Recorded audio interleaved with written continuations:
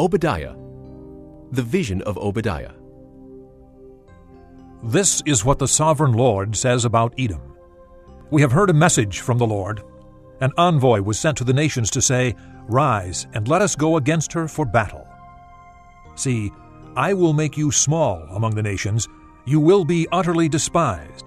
The pride of your heart has deceived you, you who live in the clefts of the rocks and make your home on the heights, you who say to yourself, Who can bring me down to the ground? Though you soar like the eagle, and make your nest among the stars. From there I will bring you down, declares the Lord. If thieves came to you, if robbers in the night, oh, what a disaster awaits you! Would they not steal only as much as they wanted? If grape pickers came to you, would they not leave a few grapes? But how Esau will be ransacked, his hidden treasures pillaged. All your allies will force you to the border, your friends will deceive and overpower you. Those who eat your bread will set a trap for you, but you will not detect it. In that day, declares the Lord, will I not destroy the wise men of Edom, men of understanding in the mountains of Esau? Your warriors, O Teman, will be terrified, and everyone in Esau's mountains will be cut down in the slaughter. Because of the violence against your brother Jacob, you will be covered with shame. You will be destroyed forever.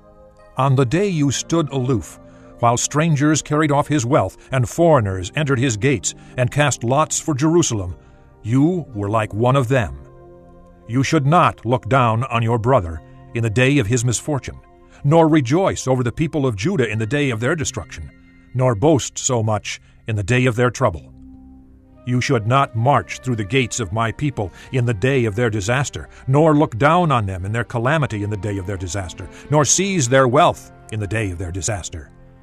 You should not wait at the crossroads to cut down their fugitives, nor hand over their survivors in the day of their trouble. The day of the Lord is near for all nations. As you have done, it will be done to you. Your deeds will return upon your own head. Just as you drank on my holy hill, so all the nations will drink continually. They will drink and drink, and be as if they had never been. But on Mount Zion will be deliverance. It will be holy, and the house of Jacob will possess its inheritance. The house of Jacob will be a fire, and the house of Joseph a flame. The house of Esau will be stubble, and they will set it on fire and consume it. There will be no survivors from the house of Esau. The Lord has spoken. People from the Negev will occupy the mountains of Esau, and people from the foothills will possess the land of the Philistines. They will occupy the fields of Ephraim and Samaria, and Benjamin will possess Gilead. This company of Israelite exiles who are in Canaan will possess the land as far as Zarephath. The exiles from Jerusalem who are in Sepharad will possess the towns of the Negev. Deliverers will go up on Mount Zion to govern the mountains of Esau, and the kingdom will be the Lord's.